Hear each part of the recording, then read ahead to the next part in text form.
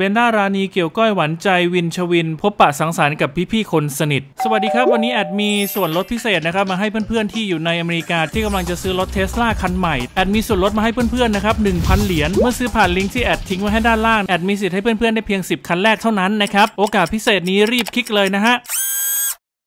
เป็นคู่รักที่แฟนคลับต่างอยากเห็นภาพคู่กันแบบชัดๆ จะได้กรี๊ดกันได้ดังๆนะฮะสำหรับคู่ของนางเอกสาวเบลล่าราณีกับนักธุรกิจหนุ่มหล่อนะครับวิลชวิณทายาทแสนล้านเครือ CP ซึ่งก่อนหน้านี้นะฮะก็ได้เห็นภาพคู่ แต่เป็นแบบภาพสะท้อนในกระจกเป็นส่วนใหญ่ ทั้งจากอินสตาแกรมของเบลล่าและของหนุ่มชวิณก็เรียกว่าถ้าปล่อยภาพคู่นั้นก็อาจจะมีเขินเพราะเธอเคยให้สัมภาษณ์ว่าภาพคู่ที่จะลงควรเป็นวาระต่างๆ จะให้ลงแบบตรงๆ เธอบอกทำตัวไม่ถูกนะฮะมันเขินๆซึ่งแฟนคลับเองนะฮะก็ไม่เคยได้เห็นโมเมนต์ภาพคู่กันสักเท่าไหร่ ล่าสุดนะครับใน IG Story ของโจนัทวัฒน์เจ้าของโจบันคอฟฟี่พาร์ทเนอร์ธุรกิจของเบลล่าก็ได้ลงภาพแห่งความสุขของแฟนๆนะฮะเมื่อได้เห็นภาพคู่ของเบลล่ากับหนุ่มวิลที่ยืนเคียงข้างกันในแบบชิลๆนะฮะมาร่วมรับประทานอาหารกับพี่ๆน้องๆคนสนิทเป็นอันชัดเจนแล้วนะฮะว่าในเรื่องความรักของเบลล่าว่าที่สไปแสนล้านตัวจริง แม้ว่าจะไม่มีรูปคู่จริง ๆ แต่ยืนคู่ชิดกันแบบนี้ก็โอเคอยู่ จริงไหมครับเพื่อนๆขอบคุณข้อมูลดีๆจากสนุด .com และขอบคุณเพื่อนๆติดตามด้วยนะครับ